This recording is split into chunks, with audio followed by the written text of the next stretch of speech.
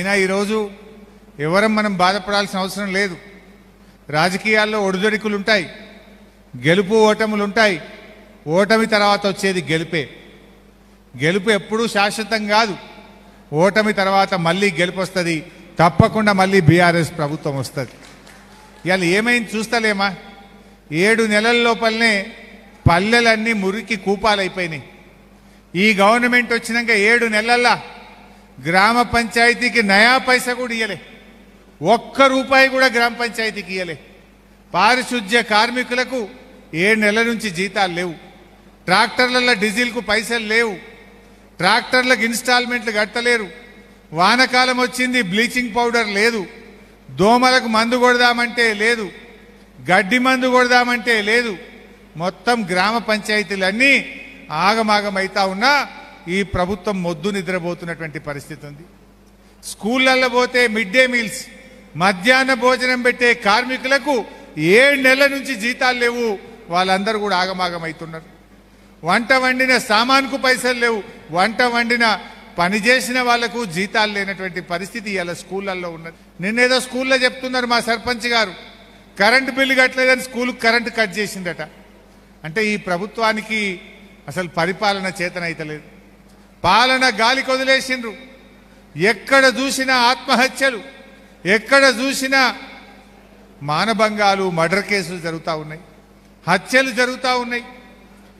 నిన్న మనం చూసినాం ఖమ్మం జిల్లాలో ఒక రైతు పురుగుల మందాగి ఆత్మహత్య చేసుకున్న వీడియో మనందరం కూడా చూసాం ఇప్పుడే ఈడ కూర్చొని చూస్తున్నా. ముఖ్యమంత్రి గారి జిల్లా మహబూబ్ నగర్లో కలెక్టర్ ఆఫీస్లో ఇంకో రైతు ఇలా పురుగుల మందు దాగిన వీడియో వస్తూ ఉన్నది. అంటే ఈ రాష్ట్రంలో పాలన గాలికి వదిలేసిండ్రు కేవలం ప్రతిపక్షాల మీద కేసులు కుట్రలు తప్ప పరిపాలన చేతనైతలేదు అందుకే రోజు కూడా ఆత్మహత్యలు జరుగుతూ ఉన్నాయి. రేప్ కేసులు జరుగుతూ ఉన్నాయి. హత్యలు జరుగుతూ ఉన్నాయి. లా అండ్ ఆర్డర్ ఆగమైపోయింది. రైతు బంధు అయితే దిక్కే లేదు. కేసీఆర్ ఉండగా జూన్ నెలలో ఖచ్చితంగా రైతు బంధు పడ్డది. ఇలా జూలై వచ్చిన ఒక్క రూపాయి కూడా రైతు బంధు ఇవ్వకుండా ఇలా రైతుల ఉసురు పోసుకుంటా ఉన్నారు. ఏమన్నంటే ఏరివేత ఎవరికి గీత పెడదాం ఎవరికి కోత పెడదాం ఎవరికి బంధు పెడదాం ఎంత కమ్మి చేద్దామని ఆలోచన చేస్తుంది తప్ప సకాలంలో రైతు బంధు ఇవ్వడంలో ఈ ప్రభుత్వం పూర్తిగా ఫెయిల్ అయిపోయింది. పాపం అవ్వా తాతలకు ఆ రెండు వేల పింఛన్ కూడా వస్తలేదు. కేసీఆర్ ఉండగా రెండు వందల పెన్షన్ రెండు వేలు చేస్తా అంటే బరాబర్ రెండు వేలు చేసి ఇచ్చిండు మన కేసీఆర్. వీళ్ళు నాలుగు వేలు చేస్తామన్నారు. ఇంటికి రెండు పింఛన్లు ఇస్తామన్నారు అవ్వకిత్తం తాతకిత్తామన్నారు.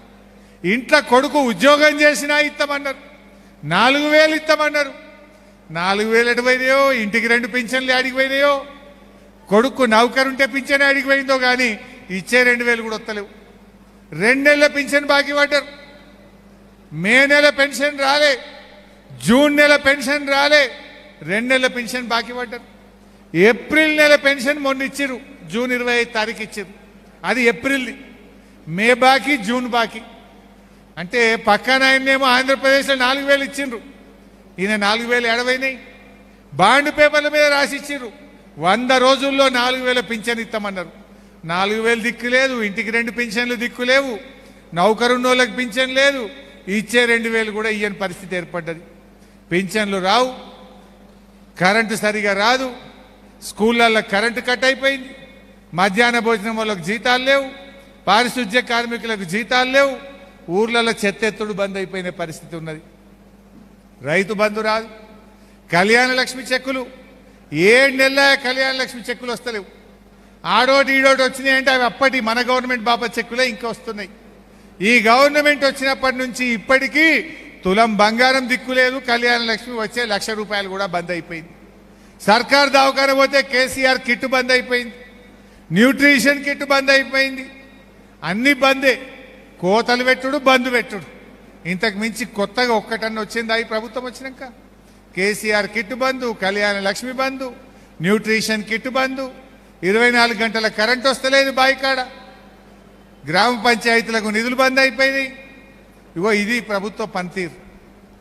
ఇప్పటికే ఆశా వర్కర్లు రోడ్లు ఎక్కిండ్రు అంగన్వాడీ టీచర్లు రోడ్డు ఎక్కిండ్రు ఉద్యోగస్తులు టీచర్లు నోటీసులు ఇస్తున్నారు. ఇక మేము కూడా రోడ్ ఎక్కుతామంటున్నారు. ఎవరిని మీరు ఉద్ధరించారు పాపం రైతుల్ని ఆగం చేసిండ్రు. నేను నిన్న ఎప్పుడో వ్యవసాయ శాఖ అధికారులతో అడిగిన జిల్లాలో నాట్లు ఎంత పడ్డాయి భయ అని అడిగిన. ఏడాసారి అంతా మూడు పర్సెంటే పడ్డాయి నాట్లు అంటారు అరే జూలై వచ్చింది మూడు పర్సెంట్ ఏందయ్యా అంటే కాలం కింది మీద కనబడుతుంది. ఈ కాంగ్రెస్ వాళ్ళు మున్పటి లెక్క మన లెక్క కాలువల నీళ్ళు ఇస్తారో ఇయ్యరో చెరువులు నింపుతారో నింపరో నమ్మకం కుదురుతలేదు సార్ అందుకే నార్లు పోతలేరు అంటున్నారు. ఇగో ఇది వీళ్ళ పరిస్థితి. ఆనాడు కేసీఆర్ ఉండగా ధైర్యం ఉండే. అరే కాలం కాకపోయినా కేసీఆర్ ఉన్నాడు కాళేశ్వరం కాలువలు వస్తాయి మా కూడెల్ని వాగుల నీళ్ళు వస్తాయి మా చెరువులు నిండుతాయి అనే ధైర్యం ఉండే. ఈ కాంగ్రెస్ వాళ్ళు దాన్ని కూడా ఎండబెట్టే పని చేస్తున్నారు. ఈ రకంగా పరిపాలన గాలి కొదిలేసిండ్రు కేవలం ప్రతీకారం పగ దీని మీద మాత్రమే దృష్టి పెట్టిండ్రు. రేపు ఏమవుతుంది ఈ రకంగా చేస్తే ప్రజలు ఊరుకుంటారా? తప్పకుండా మళ్ళా మా కేసీఆర్ మాకు కావాలి మా బీఆర్ఎస్ మాకు కావాలని ప్రజలు తప్పకుండా మనం గౌరవిస్తారు. అందువల్ల మీరు మంచిగా ముందుకు పోదాం. ధైర్యంగా ఉండండి. మీకు తెలియదా మనం మంచిగానే చేసినాం. కాంగ్రెస్ వాళ్ళు ఇంకా బాగా చేస్తామన్నారు. మనం లక్ష ఇస్తే వాళ్ళు తులం బంగారం కలుపుతామండ్రి. మనం రెండు వేలు ఇస్తే వాళ్ళు నాలుగు వేలు ఇస్తామండ్రి. పింఛన్. మనం రైతు బంధు ఐదు వేలు ఇస్తే వాడు ఏడు వేల ఐదు వందలని. మహిళలకు ఇరవై ఐదు వందలండ్రి. ఏమన్నా వస్తుందేమో అని ప్రజలు ఆశించడం తప్పు కాదు. ప్రజలు తప్పకుండా మంచి అయిద్ది అనుకున్నారు కానీ గిట్ల ఎలెలకల పడేస్తారని అనుకోలే. ఇప్పుడిప్పుడే ప్రజలకు అర్థమవుతా ఉంది. తప్పకుండా మన భవిష్యత్తు ఉంటుంది. మంచిగా పనిచేద్దాం రేపు మళ్ళీ మీరు నిలబడ్డప్పుడు కూడా మీరు రేపు ఎంపీటీసీలుగా సర్పంచ్లుగా జెడ్పీటీసీలుగా నిలబడితే ప్రభాకర్ అన్న నేను తప్పకుండా మీకోసం కష్టపడతాం. మిమ్మల్ని అందరినీ కూడా గౌరవించి నిలబెట్టి కాపాడుకుంటామని చెప్పి కూడా నేను మనవి చేస్తా ఉన్నా. ఏ కార్యకర్త కూడా అధైర్యపడకండి. తప్పకుండా మళ్ళా మనం రోజులు వస్తాయి. ఒక కాలం ఎప్పుడూ తిరుగుతూనే ఉంటుంది. ఒక దగ్గర ఆగదు. మళ్ళీ రేపు వచ్చే ప్రభుత్వం బీఆర్ఎస్ ప్రభుత్వమే ఉంటుంది. అవి ఎప్పుడన్నా రాని ఎన్నికలు. ఎన్నికలు రాక తప్పదు బీఆర్ఎస్ ప్రభుత్వం రాకుండా ఉండదు. అందువల్ల మీరు ధైర్యంగా ఉండండి. ప్రజల్లో చర్చ పెట్టండి. ప్రజాసేవ కొనసాగించండి. ప్రజల కష్ట సుఖాల్లో పాలు పంచుకోండి. రేపు ఎప్పుడు స్థానిక సంస్థల ఎన్నికలు జరిగినా దానికి మనం సిద్ధంగా ఉందాం. మీరు ఇవాళ ఎంపీడీసీలుగా దిగిపోతున్నారు మీకు కూడా ఏడు నెలల జీతం రాక. ఈ కాంగ్రెస్ గవర్నమెంట్ వచ్చినప్పటి నుంచి ఎంపీటీసీలకు జీతం రాలే జెడ్పీటీసీలకు జీతం రాలే. ఎంపీడీసీలకు జీతాలు రావు జెడ్పీటీసీలకు జీతాలు రావు. సఫాయి కార్మికులకు సారీ పారిశుద్ధ్య కార్మికులకు జీతాలు రావు. ముసలోళ్ళకు అవ్వాతాతలకు ఆసర పింఛన్ రాదు కళ్యాణ లక్ష్మి చెక్కు రాదు దవాఖాన పోతే కేసీఆర్ కిట్టు రాదు. ఇగో ఇది కాంగ్రెస్ పాలన. పొద్దుందా కరెంటు పోతున్నది. కరెంటు పోయిందంటే పాపం ఆ కరెంటు ఉద్యోగులను సస్పెండ్ చేస్తున్నారు. నీకు పాలన చేతనైతే లేదు నీ కరెంట్ ఇయ్య చేతనైతే లేదు రోజుకు నాలుగు సార్లు కరెంటు పోతుంది రైతులకు మోటార్లు కాలుతున్నాయి అంటే ఎవరైనా మాట్లాడితే కరెంటు ఉద్యోగుల మీద కేసులు పెడతా ఉన్నారు. ఉద్యోగులకు మెమోలు ఇస్తా ఉన్నారు. ఉద్యోగులను వేధిస్తూ ఉన్నారు. నీకు పాలన చేతనైతే లేదు. కేసీఆర్ ఇస్తాడెట్లా? నీకు ఇయ్య చేతగాదెట్లా అని నేను అడుగుతా ఉన్నా.